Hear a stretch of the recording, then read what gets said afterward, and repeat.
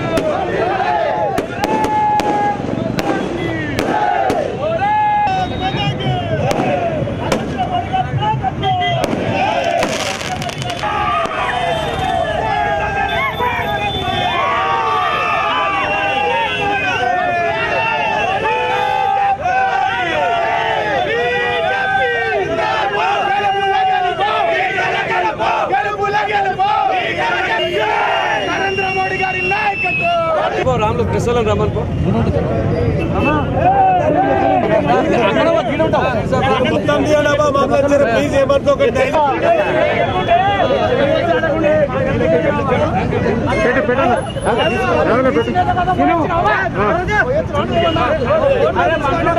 Dialogue ముందర అంజనా ఇక్కడ రాజేంద్ర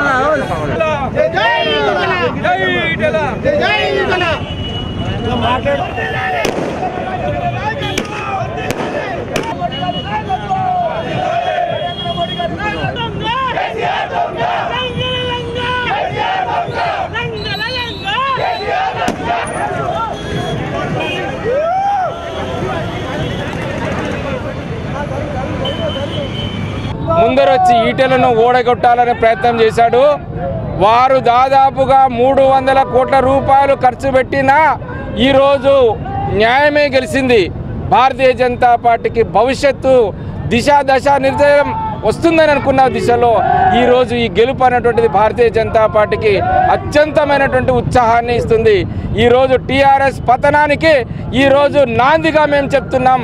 భవిష్యత్తు లోపల టీఆర్ఎస్ అన్నటువంటిది రోజు రోజుకు కూడా పతనం కాక తప్పదు. వారు ఇచ్చినటువంటి తెలంగాణ ఏ వాగ్దానాలు ఉన్నావో ఇప్పటి నెరవేర్చలేదని ప్రజల యొక్క విశ్వసిస్తున్నారు కాబట్టి ఈరోజు టీఆర్ఎస్ ప్రభుత్వానికి టీఆర్ఎస్ క్యాండిడేట్ కూడా ఓటు వేయలేదు. నిజాయితీగా ఈరోజు భారతీయ జనతా పార్టీ ఎవరైతే ఉన్నారో ఈటర్ రాజేంద్ర గారు వారు స్పష్టంగా చెప్పారు.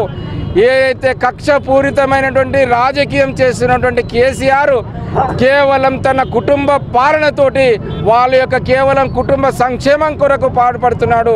అది కరెక్ట్ కాదు అని నేను నిలదీసినప్పుడే నన్ను పార్టీలోకి వెళ్ళి బేడికి పంపించాడు.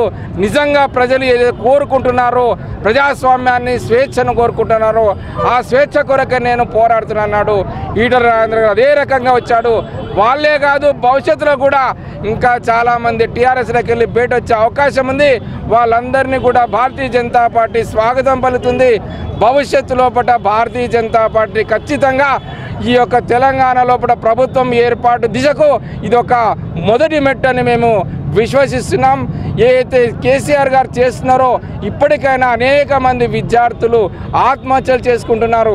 ఆ ఆత్మహత్యలను కనీసం నివారించలేకపోయిండు. నిన్న ఒక మల్లేష్ చనిపోతే కనీసం వారికి నివాళులు అర్పించలేదు వారి కుటుంబాన్ని ఈటలకి ఇప్పుడు ఈ రకంగా చేసినటువంటి దాంట్లో అయితే గెలుపులో ముఖ్యంగా టీఆర్ఎస్ నాయకులు చాలా ప్రగల్భాలు పలికారు. మేము ఒకవేళ ఈటల గారు గెలిస్తే మేము రాజీనామా చేస్తామని అన్నారు. గువ్వల బాలరాజు గారు ఎవరైతే ఉన్నారో వారు ప్రత్యక్షంగా ప్ర ఏకే ప్రతిపక్ష ఏదైతే ఈ యొక్క మీడియా సమక్షంగా కూడా వారు మాట్లాడినరు. కాబట్టి ఈరోజు ఖచ్చితంగా వారు నిజంగా మాట మీద ఉన్నట్టయితే వారు నిజంగా టీఆర్ఎస్ యొక్క కార్యకర్తనే అయితే రాజీనామా చేయాలి. రాజీనామా చేసి పోటీకి నిలబెట్టమండి. భారతీయ జనతా పార్టీ నుంచి కార్యకర్త నిలబెడతాం.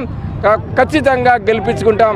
ఈరోజు భారతీయ జనతా పార్టీ భవిష్యత్తే టీఆర్ఎస్ యొక్క పతనానికి యొక్క గెలుపు అని మేము ఈ రకంగా సందర్భంగా తెలియజేస్తున్నాం. మేము గత ఆరు నెలల ముందే చెప్పినాం.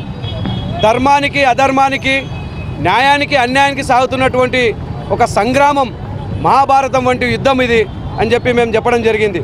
మేము అనుకున్న ప్రకారంగానే అక్కడ ఓటర్లను ఎంత ప్రలోభ పెట్టాలనో అంత ప్రలోభ పెట్టినా కూడా ఈ నిరంకుశ పాలకుడు కేసీఆర్ టీఆర్ఎస్ ప్రభుత్వం అవలంబిస్తున్నటువంటి అంశాల్లో భాగంగా ఎట్లయితే మహాభారత యుద్ధంలో మహాభారత సంగ్రామంలో కౌరవులు ఏ విధంగా అయితే పచ్చికలు వేసినారో అంతకన్నా భయంకరమైన కుట్రలు అన్నీ ఈటెల రాజేందర్ గారిని ఓడించాలని చెప్పి ఒక దుర్బుద్ధితోన మొత్తం ఒక మూకుమ్మడిగా ఆయన మీద ఇక్కడ పాలమూరు నుండి మొదలుకొంటే ఆదిలాబాద్ వరకు ఇక్కడ రంగారెడ్డిని మొదలుకొంటే భద్రాది వరకు ఉన్నటువంటి ఎమ్మెల్యేలు మంత్రులందరూ కూడా హుజురాబాద్ నియోజకవర్గంలో వచ్చి పనిచేసినారు. అయినా అక్కడి ప్రజలు ధర్మం వైపే నిలబడ్డారు.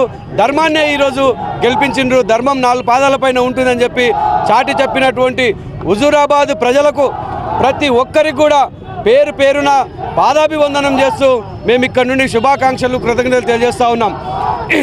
ఈట ఈటెల రాజేందర్ గారి పైన ఏ విధంగా నేరం మోపి నెట్టబడి ఆయనను బయటికి దొబ్బినారో మీ మంత్రివర్గంలో మీ భజన మండలిలో ఈరోజు చాలామంది ఆరోపణలు అవినీతి ఆరోపణలు ఎదుర్కొన్నటువంటి మంత్రులు ఉన్నారు. మీకు నిజంగా దమ్ము ధైర్యం ఉంటే కేసీఆర్ గారికి మేము చెప్తా ఉన్నాం ఈ వేదిక నుండి. దమ్ము ధైర్యం ఉంటే వాళ్ళందరినీ కూడా బర్తరఫ్ చేయండి. అన్ని నియోజకవర్గాల్లో ఉప ఎన్నికలు వచ్చే విధంగా వచ్చినప్పుడు ఈ ప్రజలపైన మీకు ఎలాంటి మక్కువ ఉందో ఈ ప్రజలకు మీరు ఎలాంటి మోసాలు చేసినారో అవన్నీ కూడా బయటపడి ఆ రోజు మీ పరిస్థితి ఏమవుతుందో మీరు గుర్తెరగాలని చెప్పేసి కేసీఆర్కి చెప్తా ఉన్నాం. మేము మొదటి నుండి చెప్తా ఉన్నాం. ఎప్పుడైతే మీరు నిబద్ధతో నికార్సుగా పనిచేసినటువంటి నాయకులను ఎల్లగొట్టడం పార్టీలో నుండి బయటకు పంపడం మొదలుపెట్టినారో ఈటెల రాజేందర్ గారి దగ్గర పతనం మొదలైంది మీకు.